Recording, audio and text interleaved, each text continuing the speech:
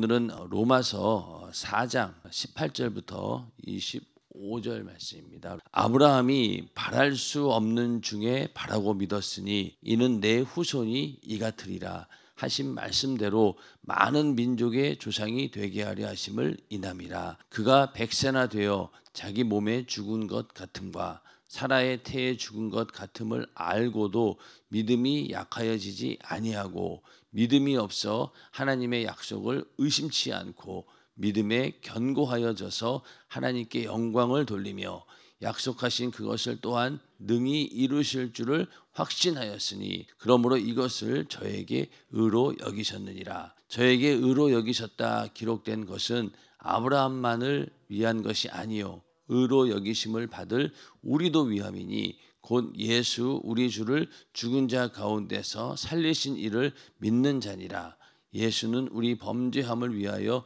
내어줌이 되고 또한 우리를 의롭다 하심을 위하여 살아나셨느니라 아멘. 네, 오늘은 로마서 4장 18절부터 25절 말씀을 중심으로 바랄 수 없는 중에 바라는 믿음이라는 제목으로 로마서 강의 34번째 시간이 되겠습니다. 오늘 이 말씀에 보면은 우리가 아브라함이 그 믿음으로 의롭다 여김을 받았다라고 하니까 믿음이라는 것이 굉장히 그냥 쉬운 건 줄 알아요.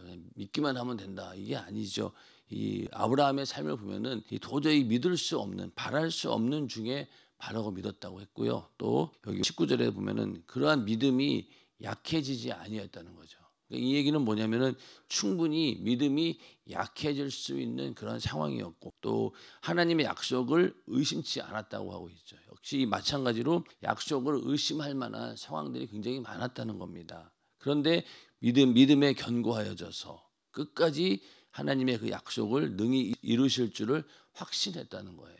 그렇기 때문에 아브라함이 하나님께서는 그 믿음을 보시고 의롭게 여기셨다는 겁니다. 사도 바울이 할례나 또 율법을 지키는 이런 행위로 인해서 하나님의 백성이 될 수 없고 오직 믿음이 그 조건이다 이렇게 가르쳤습니다. 그러니까 유대인의 입장에서는 뭐 이것저것도 다 안 되니까 겨우 믿는다는 것만으로 하나님의 백성이 된다고 하나님의 자녀가 된다고 여기에 대해 의문을 제기했는데 바울은 이 아브라함을 통해서 하나님의 백성이 되는 그 믿음이 어떤 것인가를 설명하고 있는 것이죠. 어, 니들이 그렇게 만만하게 보는 믿음이라는 것, 율법을 지키는 것하고 믿음의 행위하고 어느 것이 과연 더 어려운가? 사실 믿음이라는 것이 절대로 쉬운 것은 아니다. 결코 율법을 지키는 것보다 쉬운 것은 아니다라는 이야기를 지금 아브라함이 예를 들어서 하고 있는 겁니다. 자, 여러분들 율법대로 사는 게 어려울까요? 복음대로 사는 게 어려울까요? 저는 율법대로 사는 게 더 쉽다고 생각해요. 왜 그런 줄 아세요? 율법은 하지 말라고 하는 소극적인 명령들이 많고 나만 잘 지키면 돼요. 그렇지 않습니까? 나만 잘 지키면 됩니다. 그런데 복음대로 산다. 예수의 증인이 되라. 복음 전도하는 거 여러분들 쉬워요, 어려워요? 신앙생활에서 제일 어려운 게 전도입니다. 맞습니까?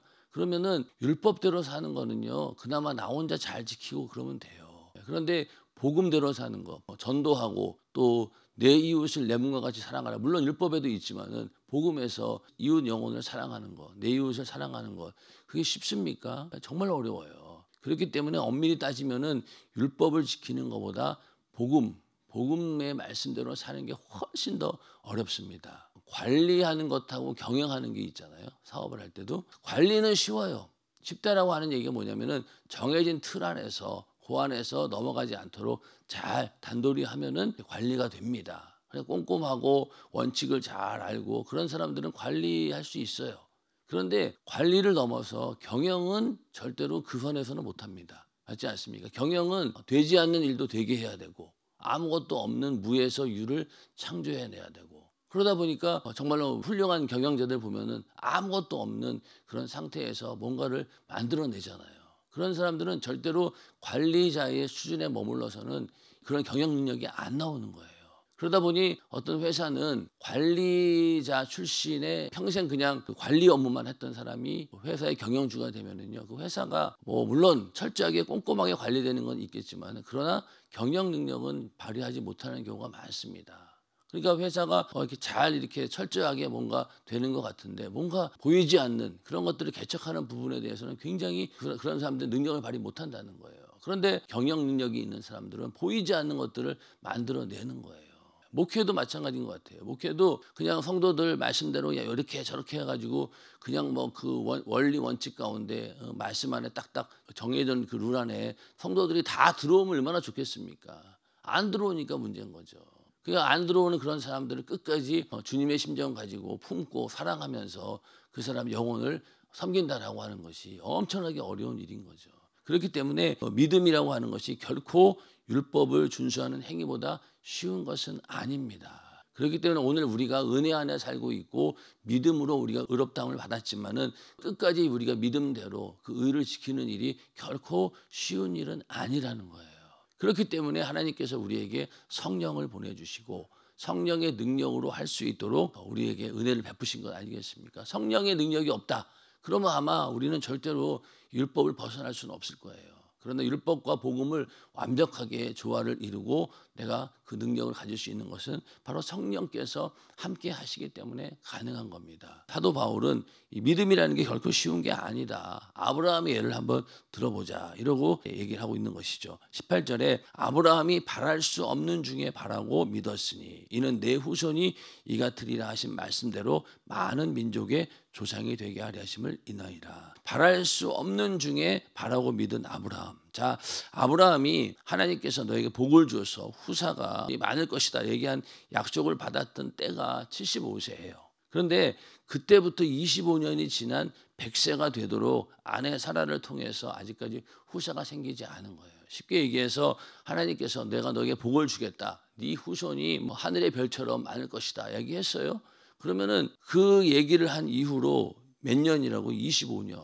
25년이 지나서 그 약속의 말씀이 이루어진 거예요. 여러분들 기도해서 25년 동안 기다렸다라고 하면 믿음 좋은 사람이에요, 나쁜 사람이에요? 믿음 좋은 사람이죠. 우리는 25년이 뭡니까? 2개월도 못 기다리잖아요. 기도해 놓고 언제 되나 한 2개월도 못 기다리고 뭐 2주도 못 기다리는 사람도 있어요. 빨리 응답해 주세요. 라고 난리를 치는데 이 아브라함은 우리 안, 우리처럼 성령을 받은 사람도 아니고 그런데도 75세 때 그 약속을 받았는데 25년이 지날 때까지 끝까지 믿었다는 거예요. 물론 이 아브라함도 그 중간에 흔들렸죠. 도저히 아이가 안 생기니까 하갈이라고 하는 사례의 몸종을 통해서 후사를 이으려고 했죠. 그러나 아브라함은 끝까지 25년을 기다려서 결국은 이삭이라고 하는 아들을 낳게 된 겁니다. 이게 말이 25년이죠. 말이 25년. 이런 믿음을 봤을 때 이 믿음이라는 게 결코 쉬운 것은 아니었다. 끝까지 약속을 믿었고 마침내 소망이 끊어진 것 같은 100세 나이에 그 믿음으로 후사를 얻게 된 것이죠. 그렇기 때문에 이 믿음은요 항상 현실과 충돌할 수밖에 없어요. 믿음으로 우리가 기도하고 시작했는데 막상 딱 현실은 어떻습니까? 전혀 진전이 없어. 내가 기도한 대로 응답되는 것 같은 조짐도 보이지 않고 아무런 미동도 하지 않는 그런 현실 상황을 부딪혔을 때 우리는 좌절하게 되고 또 하나님을 의심하게 되고 아, 내가 잘못 선택한 건 아닌가 아, 그런 갈등을 겪게 되지 않습니까? 그런 것처럼 이 믿음은 언제나 현실과 충돌하게 되는데 그것을 이겨내는 것이 바로 어, 믿음이죠. 여러분들이 믿음으로 기도하고 있는 기도 제목이 있다면 현실과 충돌이 되고 현실에 봐서는 전혀 이루어질 것 같지 않는 그런 상황이라 할지라도 끝까지 약속의 말씀을 붙들었다라고 하면은 믿음으로 다 응답받기를 주님의 이름으로 축원합니다. 이 아브라함은 이렇게 25년을 기다렸다는 거예요. 자, 그리고 내 후손이 이 같으리라 하는 것은 많은 자손을 갖는다는 거죠. 바닷가의 모래를 셀 수 없고 헤아릴 수 없음 같이 내 후손이 이와 같으리라. 하늘의 별들을 셀 수 있나 보라. 근데 이거는 저번에도 말씀을 드렸지만은 육신의 자손들 그 이상이라고 얘기했죠. 그래서 갈라디아서 3장 16절에 이 약속들은 아브라함과 그 자손에게 말씀하신 것인데 여럿을 가리켜 그 자손들이라 하지 아니하고 오직 하나를 가리켜 내 자손이라 하셨으니 곧 그리스도라. 그러니까 이 아브라함에게 단순히 그 혈육적으로 많은 자손이 생길 것이다. 이게 복이 아니라 그 아브라함의 자손을 통해서 누가 나온다고요? 바로 예수 그리스도가 나오기 때문에 그게 복이라는 거예요. 그리고 그 예수를 통해서 수많은 사람들이 구원을 받게 될 것이다. 그래서 아브라함의 그 수많은 자손들이 바닷가의 모래처럼 많은 헤아릴 수 없는 그런 후손이 있다라고 하는 것이 바로 그런 이유입니다. 그러니까 많은 이방인들이 구원으로 인해서 들어오게 구원 안으로 예수로 인해서 구원받게 될 것이다. 그러니까 많은 영적 의미에서 많은 민족의 조상이 된다라는 의미인 거죠. 그래서 아브라함은 그걸 바라본 거예요. 나의 후손을 통해서 메시아 예수 그리스도께서 올 것이다라는 것을 희미하게 본 것이죠. 그거를 끝까지 붙들고 믿었다는 거예요. 그래서 마태복음 8장 11절에 보면은 또 너희에게 이르노니 동서로부터 많은 사람이 이르러 아브라함과 이삭과 야곱과 함께 천국에 앉으려니와 여기 이제 이 많은 이방인들 동서로부터 많은 사람이 와서 아브라함과 이삭과 야곱과 함께 천국에 앉는다. 이게 바로 아브라함에게 주어진 복이었던 겁니다. 우리는 이제 그 아브라함의 조상이고 우리는 그 후손으로서 이 예수 그리스도를 통해서 우리가 구원을 받게 되었고 그렇게 해서 천국에 앉을 수 있는 자격이 생겼다는 거죠. 이게 바로 아브라함이 받았던 내 후손이 이같으리라라고 하는 그런 복입니다. 자, 19절에 가서 그가 백세나 되어 자기 몸에 죽은 것 같음과 사라의 태에 죽은 것 같음을 알고도 믿음이 약하여지지 아니하고 그리고 믿음이 없어 하나님의 약속을 의심치 않고 그리고 믿음에 견고하여져서 하나님께 영광을 돌리며 약속하신 그것을 또한 능히 이루실 줄을 확신하였으니 자 후손을 바랄 수 없는 후손을 바랄 수 없는 그런 상황이었어요.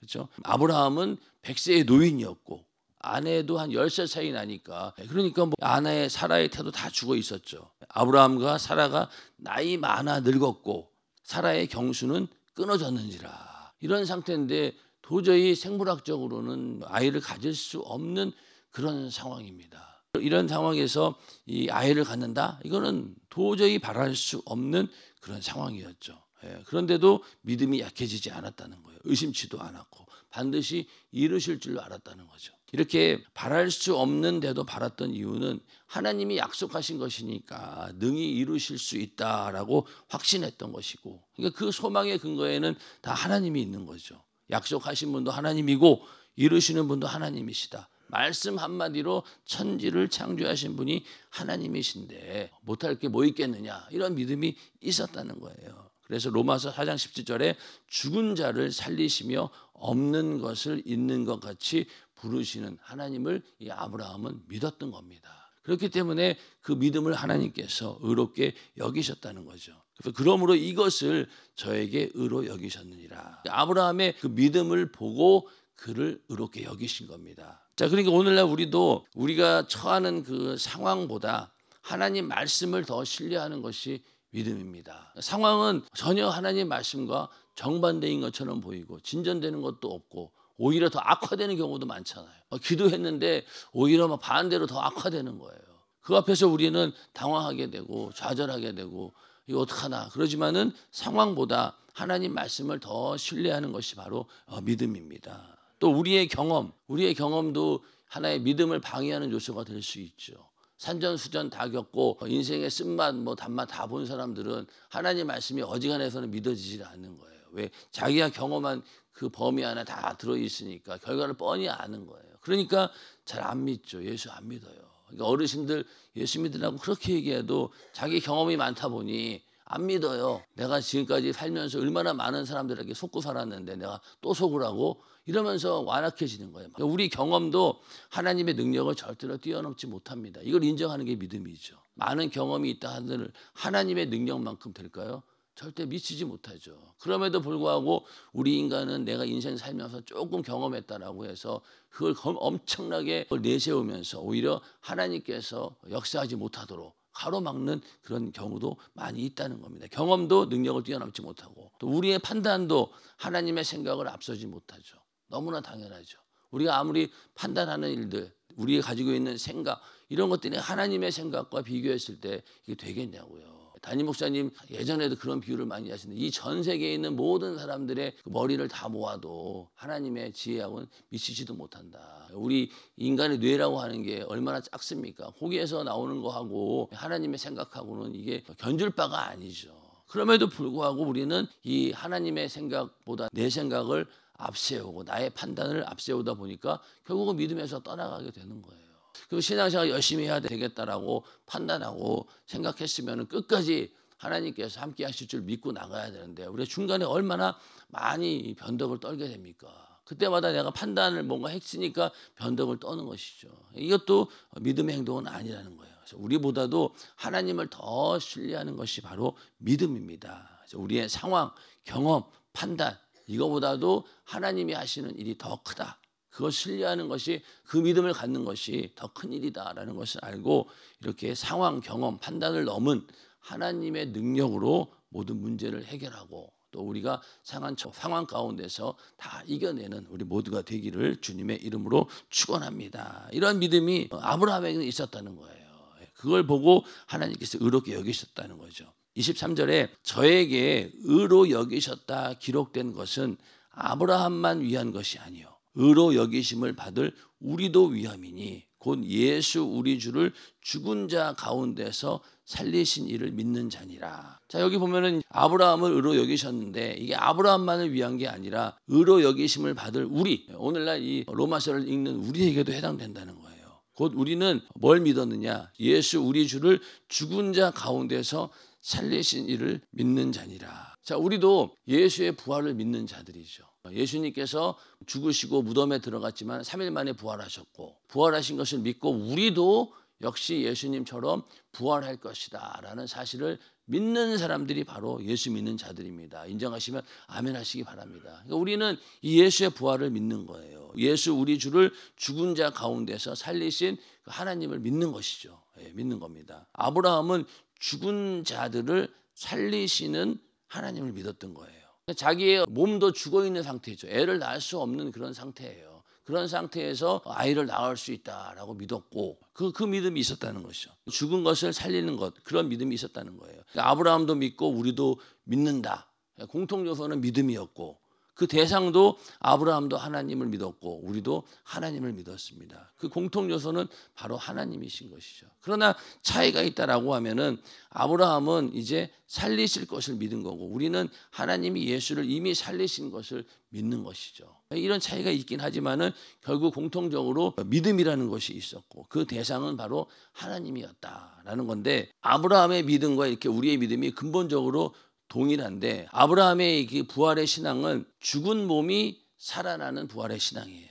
자녀를 생산할 수 없는 몸이 살아나 자녀를 생산하게 한다라고 했으니 그것이 바로 죽은 몸이 살아난다라고 하는 그런 믿음이에요. 또 한 가지는 이삭을 제물로 바치라는 하나님 명령에 순종할 때도 아브라함은 하나님이 이삭을 다시 살릴 것이라고 믿었어요. 이삭을 잡아 번제로 죽이려고 할 때 얘를 이제 죽였어요. 그러면 분명히 하나님께서 다시 살려 주실 것이다라고 믿었다는 거예요. 그 말씀이 어디에 있냐면요. 히브리서 11장 17절에 19절에 보면은 아브라함은 시험 받을 때에 믿음으로 이삭을 드렸으니 저는 약속을 받은 자로 되 그 독생자를 드렸느니라 저에게 이미 말씀하시기를 내 자손이라 칭할 자는 이삭으로 말미암으리라 하셨으니 저가 하나님이 능히 죽은 자 가운데서 다시 살리실 줄로 생각한지라 비유컨대 죽은 자 가운데서 도로 받은 것이니라. 그러니까 이삭을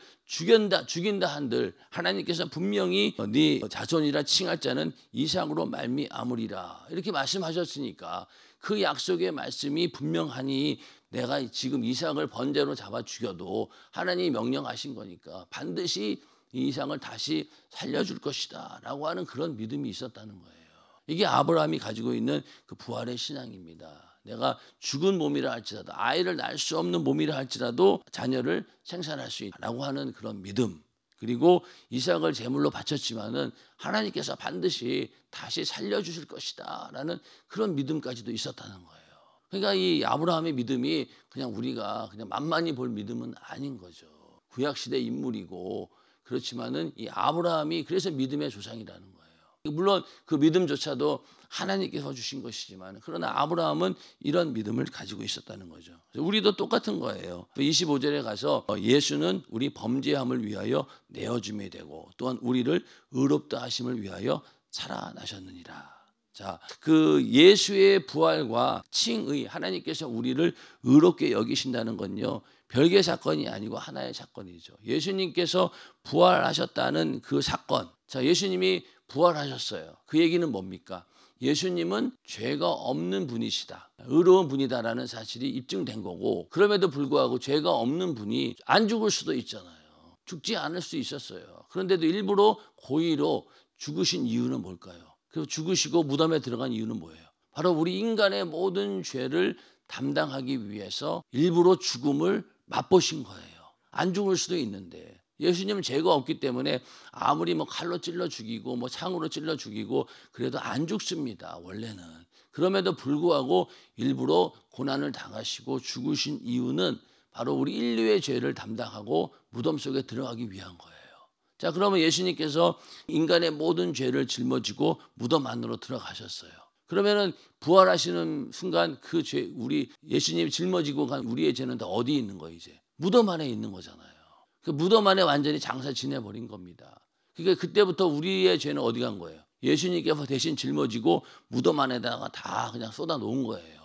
그러니까 이제 우리 죄가 이제 없어진 거죠. 사함 받은 거죠. 우리도 역시 이제는 죄가 없어졌기 때문에 부활하게 되는 겁니다. 그게 바로 하나님께서 우리를 의롭게 여기시는 것이죠. 그렇지 않습니까? 우리가 부활한다라는 게 뭐예요? 죄가 없이 하나님께서 우리를 의롭게 여기시기 때문에 부활하는 거예요. 근데 그 부활의 근거가 어디 있느냐? 예수님께서 우리의 죄를 대신 담당하고 죽으시고 부활하셨다라고 하는 그 사실 때문에 우리도 하나님으로부터 의로움을 받고 우리도 부활하게 되는 겁니다. 맞습니까? 그리고 우리는 그 부활 가운데서도 첫째 부활을 사모하는 자들이죠. 나중에 심판받고 부활하는 것이 아니라 예수님께서 이 땅에 오실 때 죽음을 맛보지 않고 우리는 그 자리에서 공중으로 끌려 들어가는 그런 첫째 부활 또 비록 죽었다 할지라도 무덤에서 예수님 오실 때 제일 먼저 부활하는 첫째 부활 이것을 우리는 사모하는 자들입니다. 그러니까 이 부활이라고 하는 것이 칭의 하나님께서 우리를 의롭게 여기신 사건과 별개가 아니라는 거죠. 그러니까 그 믿음이라는 것이 얼마나 대단합니까? 죽을 몸도 살려내는데 단순히 그냥 살려내는 게 아니죠. 영원히 살게 하는 거니까 이게 엄청난 능력인 겁니다. 그러니까 우리의 믿음이라고 하는 것이 그냥 뭐 율법 지키는 거하고는 비교가 안 될 만큼의 큰 역사가 일어난다는 것이죠. 근데 이 유대인들은 이런 믿음에 대해서 함부로 생각했던 것이고 뭐 별거 아닌 줄 알았던 거죠. 그러니까 그 이방인들에게 유대인들은 계속 뭘 강요합니까? 율법을 강요하는 거예요. 율법 지켜야 된다. 할례도 받아야 돼. 아, 그러면서 계속 그 이방인들을 얼마나 괴롭게 했겠어요. 그러면 안 된다는 거예요. 그러니까 오죽하면은 회의를 열어서 야 율법을 전부 다 강요하는 거는 이건 안 된다. 몇 가지만 중요한 것만 지키고 나머지는 이거는 지킬 수 없다. 이렇게 해서 아예 그냥 선을 그어 버렸잖아요. 그런 것처럼 오늘날 우리도 물론 하나님 말씀대로 살아야 됩니다. 그런데 본질을 외면하고 아주 사소한 것들을 가지고 목숨 거는 사람들이 굉장히 많아요. 그것 때문에 오히려 본질이 왜곡되는 거예요. 뭐 예를 들어서 뭐 새신자인데 신방을 갔어요. 주일날 갔는데 그분이 주일에 대한 개념이 없어. 물건을 사고 파는 거에 대해서 몰라. 그래가지고 뭐 물건을 잔뜩 사갖고 와가지고 이렇게 다 대접을 합니다. 자 그러면은 예전에 실제로 그랬어요. 우리 연세중학교 성도들이 가면 안 먹어요. 대놓고 아 오늘 주일날 물건 산 건데 이거 저 안 먹습니다. 그러니까 그 사람은 어떻게 했어요? 마음의 상처를 받고 교회를 안 나와요. 바꿔놓고 생각해보면 그러지 않겠냐고요. 맞죠? 그러니까 그, 그 사람 시험 든 거예요. 아, 자기네들은 주일날 물건 사지 말라고 했으니 물건 사온 물건도 안 먹는다라고 해서 믿음 좋은 것처럼 여겼지만 결국은 한 영혼이 한 가정이 죽었잖아요. 시험 들었잖아요. 그 죄는 어떡할 건데요? 그렇기 때문에 그런 경우에는 정말로 지혜를 잘 동원해서 그 사람이 상처받지 않도록 대처를 잘 해야 되는 겁니다. 대놓고 그냥 거기다가 아, 우리는 주일날 물건 사면 안 됩니다. 못 먹습니다. 이래 버리면은 그 사람의 상처를 누가 치유해 줄 건데요. 나로 인해 상처 받는 거잖아요. 그럴 때 우리가 지혜를 잘 동원해서 그 사람이 상처받지 않고 시험 들지 않는 방향으로 일을 만들어내야 되는 거예요. 이런 경험이 있다 보니 사전에 이제 단도리를 치는 거죠. 전화해가지고 아, 주일날 신방 갈 때 아무것도 준비하지 마시라. 우리는 그냥 다 밥 먹고 간다. 그렇게 해서 아예 그 사람이 그런 죄를 짓지 않도록 사전에 막아주는 것이 지혜로운 것이지 막상 갔는데 그런 일 닥쳐서 한 영혼에 시험 든다라고 하면은요 그 죄는 또 어떻게 감당할 건데요. 나 혼자 율법 잘 지킨다라고 해서 그 그것이 의가 되겠습니까? 그러니까 어렵다는 거예요. 원칙만 지키면은요 얼마나 쉽습니까? 근데 그 원칙을 넘어선 이 뭔가 이 또 하나 영혼을 살리고 죽이는 문제가 있기 때문에 어렵다는 거예요. 그러니까 율법을 지키는 것보다 믿음대로 사는 게 더 어렵다는 것이죠. 그런 부분들을 우리가 잘 알아야 된다는 겁니다. 안 그러면은 하나님 말씀 가지고도 영혼 많이 죽여요. 그러니까 우리는 본질을 잘 알아야 돼요. 우리가 과연 예수 믿는 이유가 뭐고 신앙생활 하는 이유가 뭐고 내가 맡은 직분의 이유가 뭐냐는 거예요. 영혼 살리는 일인데 만약에 나, 나로 인해서 영혼이 죽는다라고 하면요 이거는 일단 내가 뜯어 고쳐야 되는 것이죠. 그걸 우리가 잘 알고 이 율법보다 더 어려운 것이 복음 말씀대로 믿음으로 사는 것이다 라는 그런 믿음을 가지고 정말로 지혜롭게 잘 대처하시기를 주님의 이름으로 축원합니다. 아브라함의 부활 신앙은 신약 시대에 와서 예수 그리스도의 부활 신앙으로 완성되는 겁니다. 그러니까 아브라함은 희미하게 예수의 부활을 본 거예요. 근데 우리는 그 부활을 소유한 자들이죠.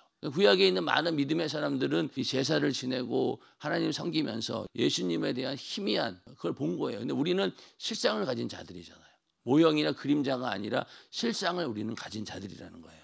그래서 예수 그리스도는 모든 믿는 자의 부활의 첫 열매가 되었고 이 부활의 신앙 때문에 하나님께서 우리를 의롭게 여기셨다라는 것을 오늘 이 말씀을 통해서 알려주고 있는 것이죠. 그래서 아브라함의 그 믿음을 통해서 믿음으로 의롭게 여겼다라고 하는 것이 결코 쉬운 일이 아니다. 오히려 더 율법 준수보다 어려운 일이다라는 것을 보여주면서 아브라함과 같은 신앙을 가져야 된다. 그래서 성경에 이렇게 남겨놓은 겁니다. 그러니까 우리가 구약 시대 사람이라고 해서 그냥 아 이건 뭐 우리가 더 대단해 물론 맞아요 신분적으로는 그러나 그들의 믿음은 결코 우리가 그냥 경홀히 여길 게 아니라 오히려 우리가 더 배워야 될 부분이 많은 것이죠. 그래서 아브라함처럼 우리도 오늘 기도할 때 바랄 수 없는 중에 바라는 믿음을 주세요. 그리고 믿음이 약해지지 않게 해주세요. 또 믿음이 없어 하나님의 약속을 의심치 않게 하소서 견고한 믿음을 주세요. 약속을 확신하는 믿음을 주세요라고 기도할 때 하나님께서 그런 믿음으로 역사하실 것입니다.